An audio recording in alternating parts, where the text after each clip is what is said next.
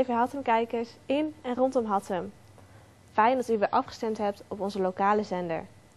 We hebben deze week weer een aantal leuke onderwerpen voor u.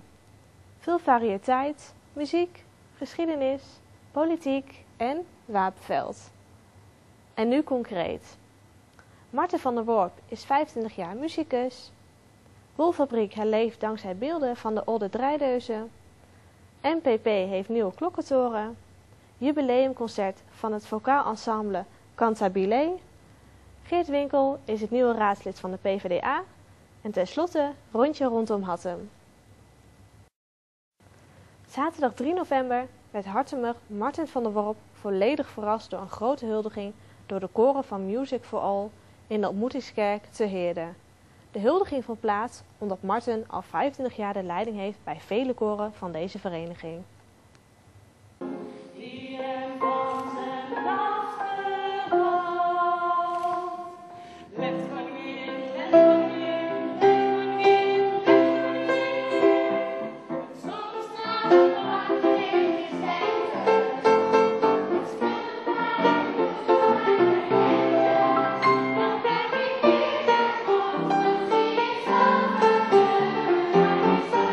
Marten van der Worp, 25 jaar dirigent in Heerde. Ja, zeker 25 jaar.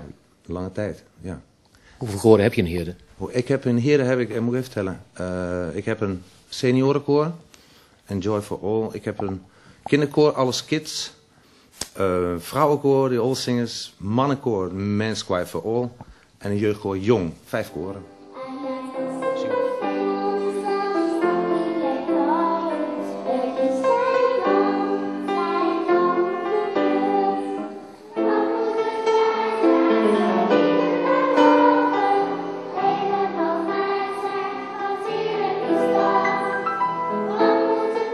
Er ook Hattemers in die koren?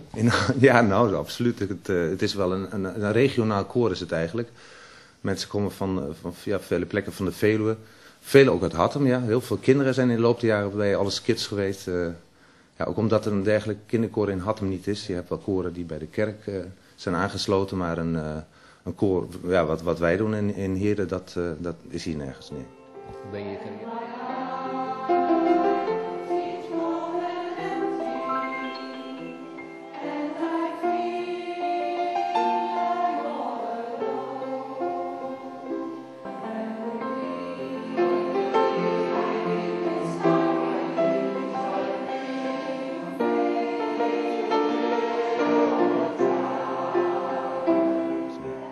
ben je je carrière begonnen? Ik ben begonnen ehm, bij Ontwaakt in eh, Hattem op een bugel. Ja, daarvoor nog op blokfluit, was niet zo'n succes. maar goed, op bugel bij Ontwaakt, jarenlang. Heel veel lessen eh, ge- gehad eh, van ja, eerst leden van Ontwaakt. En ja, daarna van, van mensen als de familie, familie Rauw bijvoorbeeld. En een, ja, die heeft veel geleerd van, van bijvoorbeeld een dirigent als Dries Hassagen. Eh, daarna eh, ben ik conservatorium gaan doen voorbereiding heb ik eh, lessen gehad van eh, vooral Karel Rauw, die heeft me daarvoor klaargestoomd. Ja. En nou ja, vijf jaar conservatorium gehad. Daarna eh, ben ik, heb, ik, ik, eh, heb ik op scholen ben ik begonnen met lesgeven in Heren. Dat doe ik nog steeds, dus daar zit ik ook alweer bijna 30 jaar. Ik heb jarenlang in bandjes rondgezworven, in het leger gemusiceerd. En,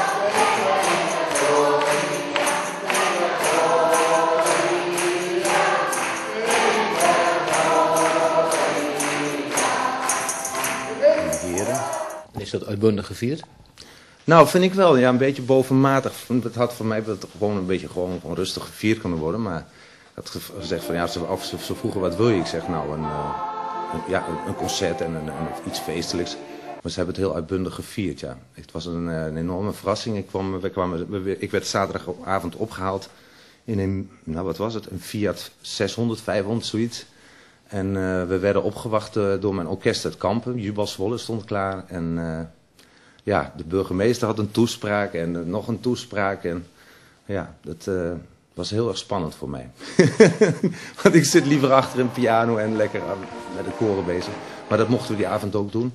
Er was een speciale gast, Herman Nijkamp, een, is een fantastische muzikant en heerlijk om met hem te mogen musiceren.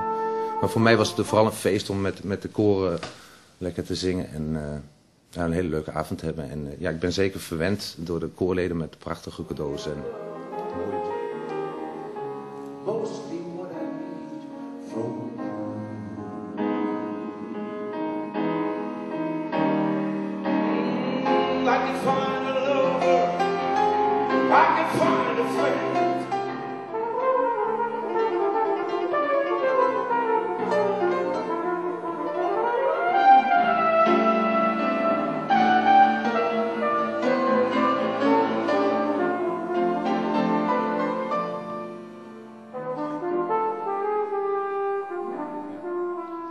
Dirigeren, componeer je ook? Ik uh, componeer, uh, ja, ik schrijf, uh, ik schrijf veel, veel liedjes voor kinderen zelf. Ik, ik componeer stukken voor koren, heel veel voor fanfares. In het verleden heb ik ja, inspectiemarsen een aantal geschreven voor orkesten in het leger. En een aantal van die marsen worden nog heel erg veel gespeeld. Onder andere? Onder andere, nou, er is één mars, de mars van de lichte brigade. Dat onderdeel bestaat volgens mij niet eens meer, maar die mars die wordt uh, nou niet alleen in Nederland, maar in vele landen over de hele wereld wordt die gespeeld. En maar, ja, zo af en toe die wordt En wordt hard opgeslagen, de spook die wordt versterkt, maar nu gaat zich daar Op het moment schrijf ik niet zoveel marsen meer. Ik heb vorig jaar nog een uh, inspectiemars voor de grenadiers nog geschreven. Maar op een gegeven moment dan, ja, dan dan is de koek een beetje op en dan wil je andere dingen doen. En ik, voornamelijk, ik zit op nu toch voornamelijk toch wel in koormuziek. En ik arrangeer, ja, ben ik nu bezig een, een, een nieuwe show voor, uh, voor Jubal. Dus uh, dat is dan geen componeren, maar arrangeren. Ja. ja. En eigenlijk voor alle koren arrangeer ik ook het meeste. En uh, ja, met die koren dan proberen we zoveel mogelijk eigen klanken ook te, te creëren.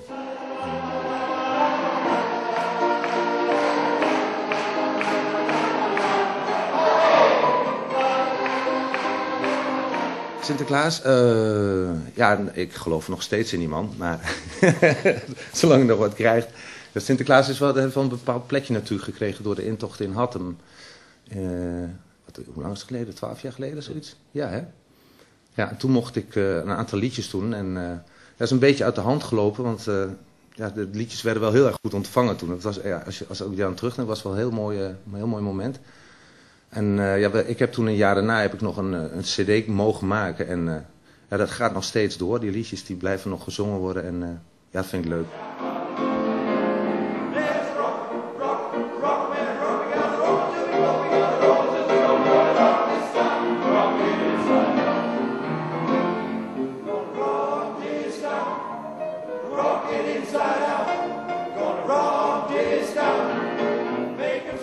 Je leeft van uh, dit vak? Ik leef ervan, ja. Ik, ik, ik kan ervan rondkomen. En, uh, en ik, ik, ik, ik kan ook niet zeggen dat ik het werken noem. Ik, ik, zo gauw ik het idee heb dat ik aan het werk ben, dan denk ik, nou, dan moet ik het niet meer doen. Want nee, ik, ik doe het met heel veel plezier. Ik heb van mijn werk mijn hobby gemaakt. En ja, ik vind het gewoon heerlijk om te doen. En vele avonden natuurlijk. Ja, het is wel vaak in de avond. Ik, en, en af, af, je hebt bepaalde periodes en het is gewoon heel erg druk. Straks met kerst dan is het ook wel weer een drukke periode. Nou, we hopen nog veel van je te horen en te zien. Nou, wederzijds, zou ik zeggen. Graag gedaan. Oké, okay, dankjewel.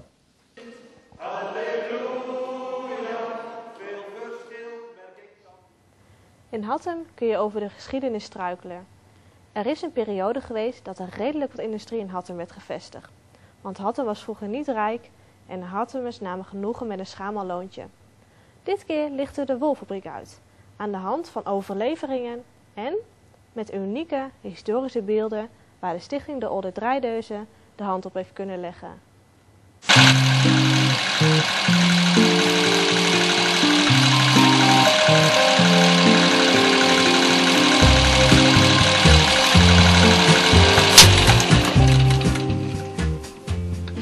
De film van de wonderindustrie hebben wij gekregen van de Vries. Wij, de Vries wou graag een oude wedstrijd kruiwagen hebben. En die heeft toen, heb ik toen als compensatie hebben wij toen een stalen kruiwagen voor hem gekocht. En toen hebben wij als compensatie die film van de wolindustrie gekregen. Met heel veel leuke dingen hebben wij uh, die film al vertoond. Er werden wat vragen gesteld of wij eraan kwamen. Maar ja, we hebben hem gekregen van de Vries. En de tweede deel hebben wij gekregen van de dochter van Johan Hartkamp. Annette eh, Hartkamp. En dat zijn ook hartstikke mooie beelden. We zijn er hartstikke blij mee.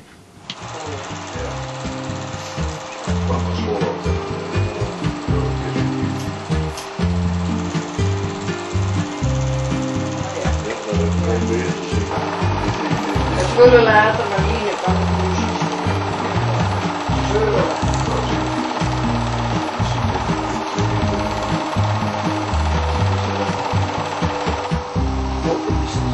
Wanneer, wanneer is, is dat begonnen? Door zo die plekken. Hier, wie, Ja, maar welk jaartal? Welk jaartal? Beers nog niet dronk. Ja. In Hattem.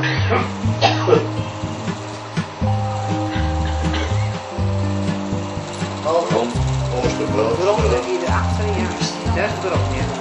Standen. Ja, zit het weer. Ah, ja. Het is weer want. Ja, als je dan de, de, de, van de, van de, van de, die maar je- Ja. Zwart wit eh, van de Eh, ja. Wits.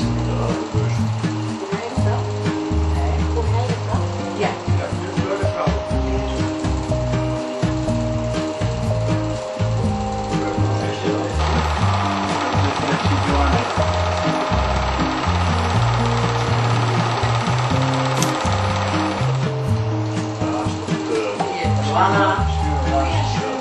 Nee, stuurman, ja. Lies. Jenny weer. Jenny. Zie Ja, ja,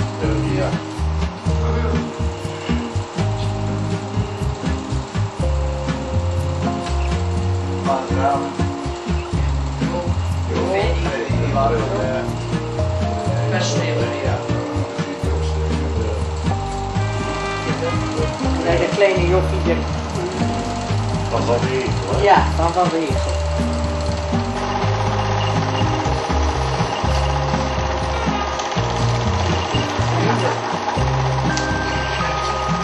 Ja, dat is toch wel een 40. Ah, hij is 40 jaar, als ik kan rekenen op mijn eigen leeftijd, dan hij 40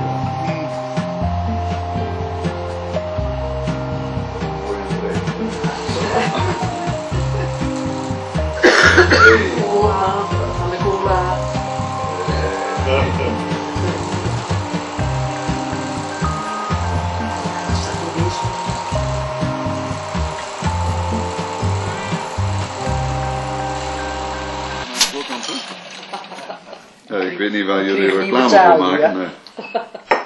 Philips kreeg er twee woningen van en dat. eh En aan de Moslaan is een hele rij. Ja, maar dat was van de wolindustrie zelf. hè? Ja. Heb jij er nog niet gewoond? Ja. Ja, Ja. Ja. ja, later toen ze afgebrand konden jullie die kopen, Ja, we hebben dat toen, alles, iedereen die er woonde, die heeft dat toen ook gekocht. Ja. Ja. Ja. ja. En de eerste die weer vertrokken is, dat was, eh, eh, ik dacht van Theo Bul. Ja. Ja, maar die waren toen, eh, de, bin, de, bin, de buitenste was eh, eh, 20.000 en de tussenwoning was 16.500 goud. Oh, Golden, ja. En de eerste is weer verkocht voor, voor een ton, zoiets. Maar tien woningen, hè?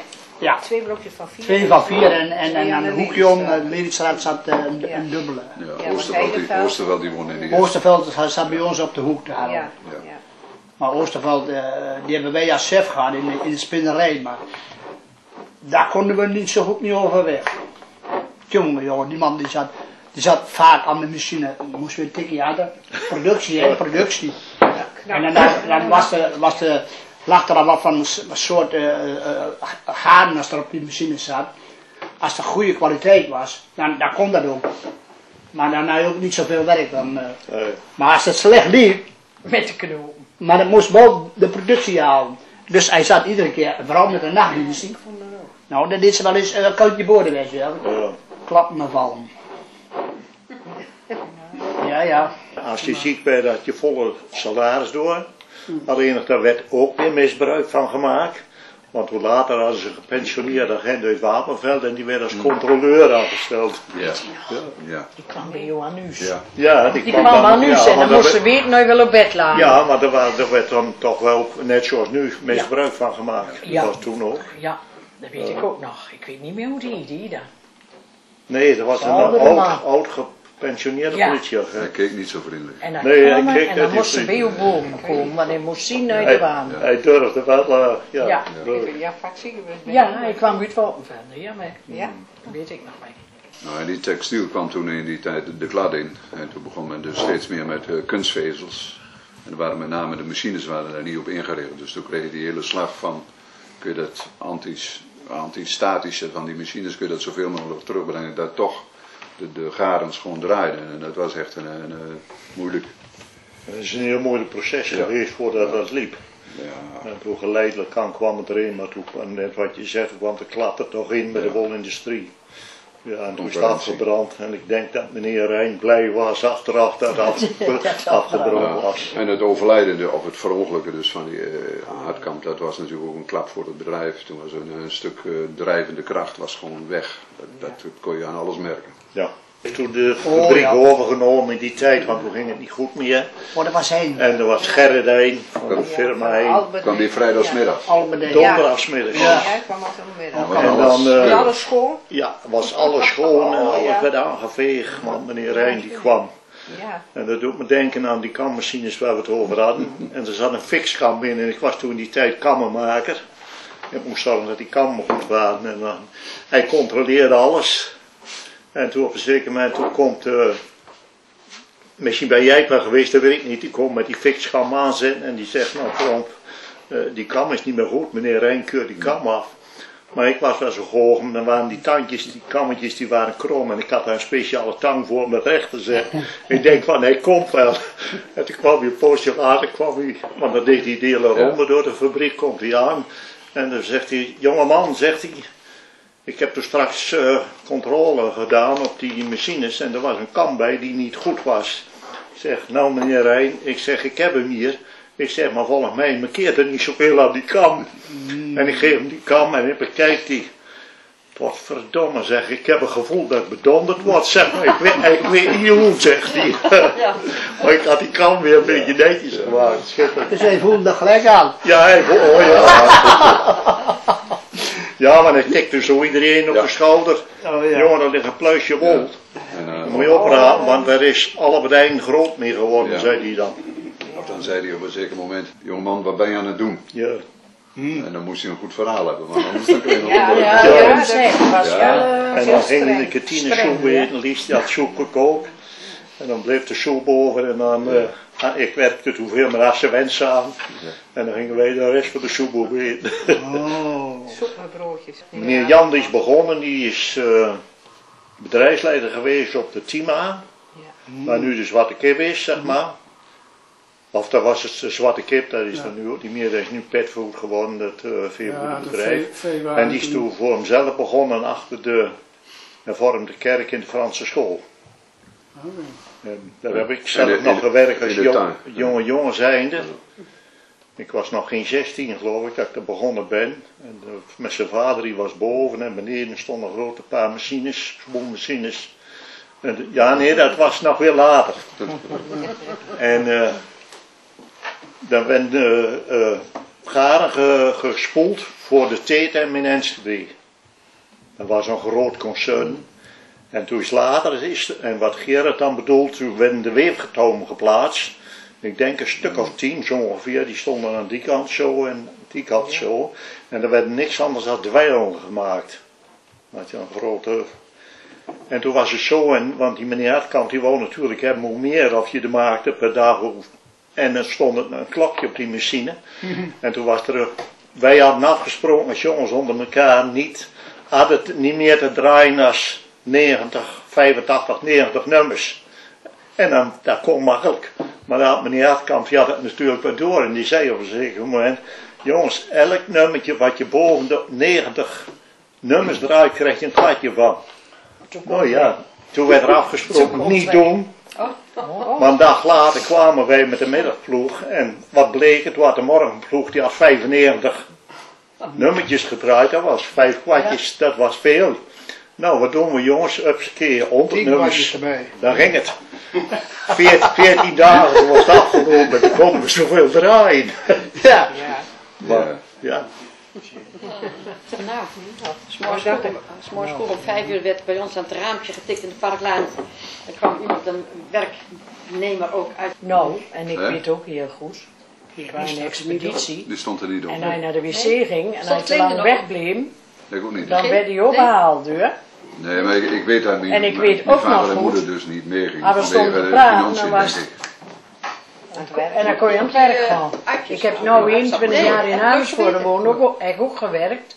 En dan zei ik, jongen, jongen, wat is het tegenwoordig toch makkelijk. Iedereen zit met elkaar, ja, werkbespreking. Maar dat hoeven we niet te doen nu, hè, in de expeditie, want dan was tuin al... eh, Ja. serieus? Oh, Brom, die, die stond in de hoek. Of niet? En dan moet je nu eens kijken op het werk, op giet. Ja. Ja. Dat de mensen Maar- heel veel weten. Maar op zich Hoe een, het goede sfeer. Ik bedoel, Ja, het was op snap zich een, qua het werkgever. wat dat betreft was het een goed, goed fabriek. Maar, Want als de man die daar werkt en die was ziek, dan werd er hulp geboden van een soort eh, thuiszorg. Dan Ja? kwam er al thuiszorg vanuit de fabriek. Niet. Ja, dat was de sociale voorziening, die vond ik, eh, die waren heel goed. Tuurlijk, er werd gekankerd, maar dat doet de arbeider altijd. ja. Zo is het. En, eh, maar ik vond, het- ja, ik vond het een goed bedrijf.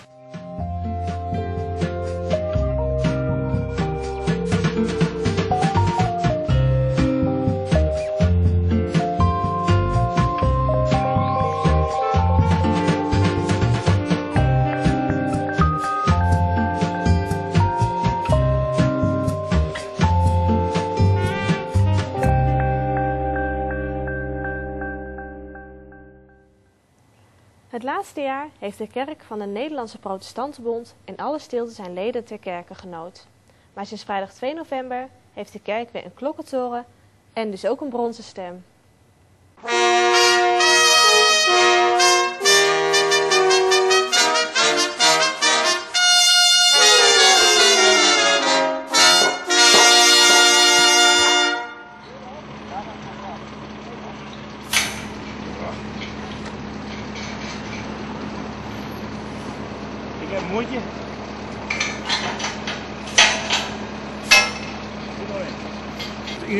Van het bestuur uitgegaan. Eh, de oude klokkentoren van ASOB Hout die heeft het naar, eh, had het na 50 jaar begeven. Die was verrot. En toen hebben we in het bestuur zitten praten van ja, wat moeten we nu? Moeten we nieuwe houten doen of moeten we iets anders of moeten we helemaal niks doen? En uiteindelijk hebben we besloten om een stalen klokkenstoel hier neer te zetten. Naar een model wat ik heb gevonden in het plaatsje Grosthuizen in Noord-Holland. En eh, daar zijn we met z'n allen naartoe geweest. Vonden een aardig model. En eh, we hebben dat ver- wat vergroot, wat veranderd naar de omstandigheden hier. En uiteindelijk wordt dat de klokkenstoel van de NPB in Hattem.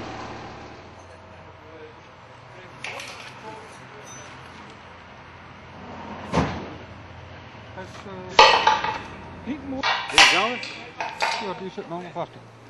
Nu alleen dit is niet terecht. Kijken eh, op de klok.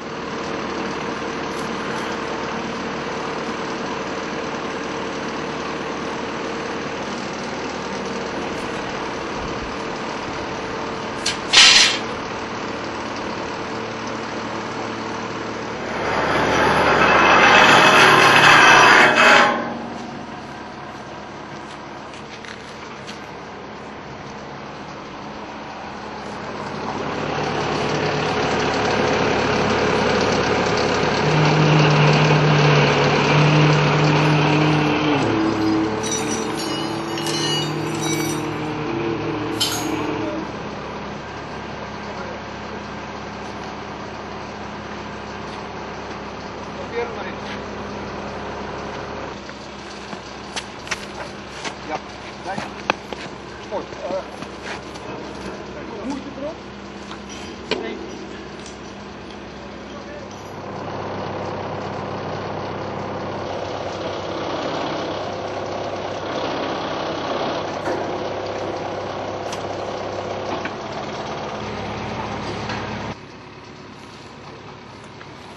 Keurig, hè? Keurig, hè?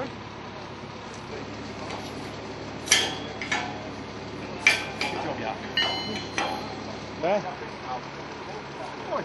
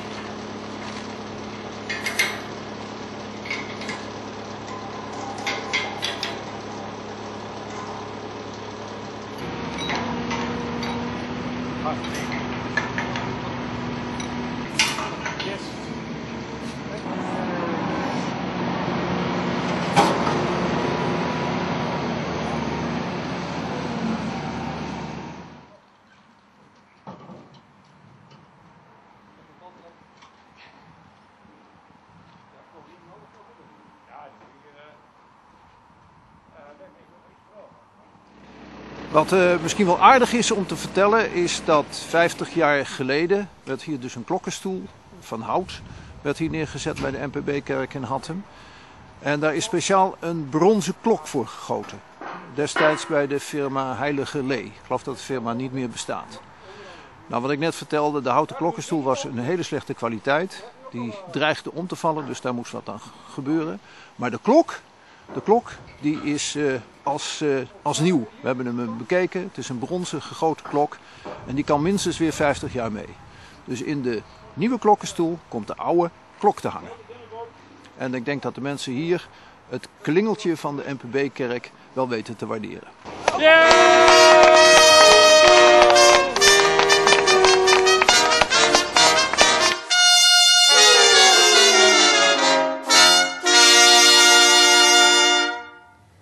Vocaal ensemble Cantabile werd medio 2007 opgericht door dirigent Herman Haverkort. Het was zijn wens om met het koor uitdagende muzikale reizen te gaan maken en daarbij de grenzen van het haalbare op te zoeken. Dat vereist een grote inzet en vaardigheden van alle koorleden. En dat alles vindt u terug in het jubileumconcert dat onlangs in de Grote Kerk van Hattem werd gegeven.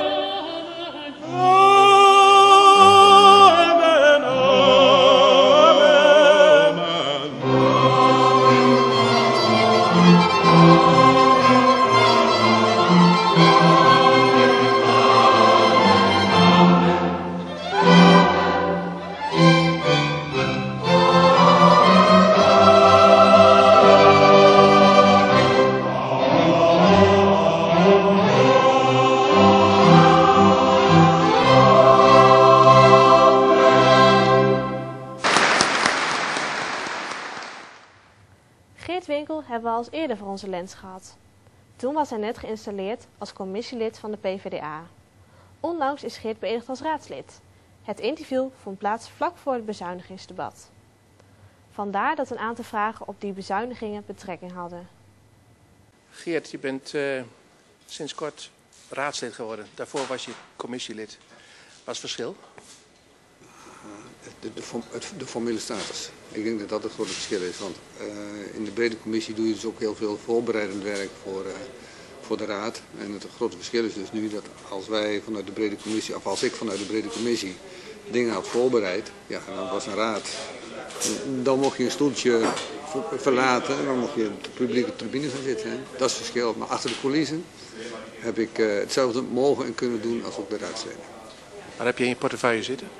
Ik, ik neem het, uh, het, het, het, onderdeel over van Hans Wijnen. Dus dat is uh, ook de begroting waar we vandaag over gaan hebben. En uh, dus is het verkeer, vervoer en financiën. Zijn er grote knelpunten in die orde portefeuille? Ja, een van de belangrijke dingen. Ik weet niet of ik dat kan zeggen, maar we hebben het vandaag over de begroting. En de begroting raakt natuurlijk het financiën. En dat, daar zullen we toch wat mee moeten gaan doen, denk ik, in de, bij de gemeente Hattem. Dus alles draait, denk ik, vandaag om de centjes. Vandaag is uh, de, de, begroting en uh, kracht 2012. Waar zet uh, de PvdA op in? Maar, kijk, wij zijn traditioneel zijn wij gericht op in ieder geval om de mensen die, wat, die wel willen, maar eigenlijk niet kunnen. Dus daar houden we ernstig rekening mee. Maar we beseffen natuurlijk ook met ons allen dat we er niet aan kunnen ontkomen om toch ja, wat te bezuinigen. En waar gaat de pijn, uh, wie gaat de pijn voelen? Ik, ik, denk dat ik dat nog niet kan, uh, kan vertellen. Ik kan wel in ieder geval op hoofdlijnen wel vertellen wat onze aandacht heeft. Dat is in ieder geval de, de WMO heeft onze aandacht, sowieso. We hebben het over de Eidijk, wat onze aandacht heeft. We hebben H2O, dus het bouwterrein, hebben we sowieso. Waar wij kritisch naar kijken. En hoe zich dat ontwikkelt, dat gaan we van, vanmiddag zien. En uh, Eidijk, wat is daar het onderwerp van? Dat is de gymzaal gymzaal waar we het over hebben. Ja. En wat is jullie uh, idee over die gymzaal? Uh, ons idee over de gymzaal is dat je kunt van alles willen natuurlijk als gemeente. Maar de mensen die er gebruik van maken moeten wel een goed alternatief hebben. En zolang dat niet het geval is, denk ik dat wij uh, daar wel kritische vragen over gaan stellen. Mevrouw van der Gym die heeft ook al ingesproken en ik had het idee dat de communicatie niet helemaal optimaal is haar wensen, de mogelijkheden, dat dat niet goed afgestemd is. Ja, inmiddels, toen wij, toen, toen wij dat de eerste keer hoorden, toen ik dat de eerste keer hoorde, zou dat de conclusie kunnen zijn. Maar inmiddels heb ik andere informatie. En er is wel degelijk informatie, af er is wel overleg geweest. Er is ook voldoende informatie uitgewisseld over en weer. Maar wellicht niet uh, datgene wat eruit zou moeten komen. Maar er is wel overleg geweest. Toeristisch informatiepunt was ook iets wat ingesproken is. Uh, die, die mensen hebben aardig gehoor gekregen bij uh, de raadsleden, heb ik het idee. Dus eigenlijk is uh, inspreken uh, is rendabel? Nou, ik denk niet dat je die conclusie kunt trekken. Maar aan de andere kant is het zo zoals het de laatste keer ging. Ja, ik denk niet dat wij, dat onze raadzaal in ieder geval een soort met van idols is geworden. Met applaus en dergelijke. Dus ik denk in die zin, nee, ik, ik geloof niet dat het, dat, dat het helpt. Tegendeel, het zou eerder tegen je kunnen werken. Er is een coalitie en er zijn uh, partners in de oppositie. Uh, hoe is de samenwerking onderling? Onderling tussen de, de coalitiepartijen? Ja, en de verhoudingen. Die zijn voor zover ik dat kan beoordelen hartstikke goed. Ja. Over en weer. Prima. Ja, goede contacten. Maar dat is niet alleen de, de, de, de coalitiepartner, maar ook volgens mij is de sfeer onderling tussen de partijen of tussen de fracties ook prima. Er wordt ook gesproken over samenwerking en uh, vergroting van, de, van Hattem en van plaatsen naar 100.000. Hoe is de samenwerking in de, in de buurt met de buurgemeente? Wat ik begrepen heb, want we praten dan specifiek over, ook over H2O. Hè? Dus dat is dan uh, hier de Oldenbroek, daar praten we over. En wat ik begrijp is dat de samenwerking tussen de ambtenaren en dergelijke, en ook tussen de burgemeester en wethouders, dat er allemaal prima verloopt. Ja. Wat voor een uh, knelpunten uh, ga je oplossen in de komende tijd, uh, nu je op deze stoel zit? Ja, ik, ik weet niet of ik knelpunten kan oplossen, maar ik wil in ieder geval wel een bijdrage leveren aan het uh, leefbaar houden van Hatem. Dus op een nette manier. Maar aan de andere kant, uh, misschien moet ik het ook anders zeggen. Ik ben iemand die vindt dat we wel een sociaal hangnet moeten hebben, een vangnet moeten hebben. maar geen eh, eh, eh, hangmat moet hebben. Dus dat betekent dat we mensen wel moeten aanspreken op hun eigen verantwoordelijkheden. En dat waar ze zelf iets kunnen doen, dat ze dat ook inderdaad moeten doen. Daar ben ik wel akkoord. Dat sluit aan mooi bij, de komende bezuinigingen. Ik wens er veel succes bij. Ja, dankjewel. Ten slotte nemen we u wederom mee door de kleurrijke lanen en straten van Wapenveld in onze serie Rondom Hattem.